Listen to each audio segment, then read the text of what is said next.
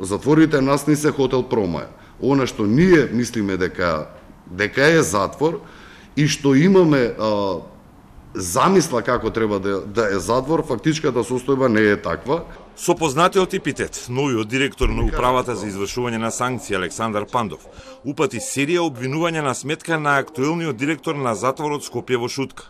Пандов тврди дека во петок кон сабота со две стручни лица од управата извршиле вонреден надзор во Шутка и утврдиле дека 11 осуденици во работните единици Перална и Возен парк недостасува. Пандов тврди дека затворските полицајци му се жалеле затоа што според нив осудениците имале привилегии од директорот па... Филип Андов Сокол. На моje прашање до затворската полиција како е можно вака да да има однесување, Александар немаме никак, никаква заштита, дотолку повеќе. Многу често ни се случува, кога ќе се обратиме на некој затвореник или кога ќе пристапиме према него, они немаат право да имаат телефони, а истите тие затвореници да извадат телефони од джеб, да му се јават на директорот и да му кажат, директоре, ние, Сокол, ние ти дадовме пари, овој не смее да ни прети нас, не смее да постапува према нас. Ако направеле кривично дело во тој период, ќе си имале алиби, наводно биле во затвор, толкуваше Пандов и побара реакција и истрага од обвинителството.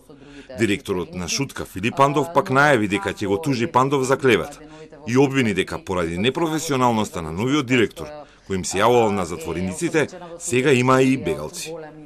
Најавувам дека ќе поднесам тужба за нарушување на мојот углед, но и на институцијата со која раководам.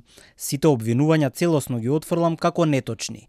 Ги повикувам институциите да постапат согласно закон, да ги утврдат сите факти и околности, а по извршениот вонреден надзор во петокот, каде што од страна на директорот Пандов се споменува дека не биле присутни 11 лица, а пријавено е само едно, додека другите биле контактирани по телефон да се вратат. Епилогот од таквото нестручно и неправилно однесување однесување на директорот Пандов. Резултираше со бегство кое се случи во текот на ноќта од страна на четири лица. Пандов објави дека го известил премиерот Мицкоски за состојбата. До сега од директорите на затворите нов е поставен само во Тето. А Пандов вели дека двете недели од мандатот проверувал кој директор е професионален, но сега вели ќе бара разрешување. Верувам дека на првата владина седница сите директори или најголем дел од нив ќе бидат сменети.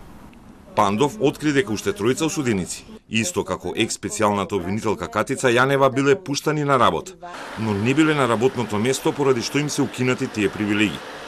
За вториот осуденик во рекет, Бојан Јовановски Боки 13. Новиот директор тврди дека се интересирал исто како и јавноста зошто е на слобода и се појавува на медиуми, но утврдил дека судот го пуштил од затвор поради здравствени проблеми.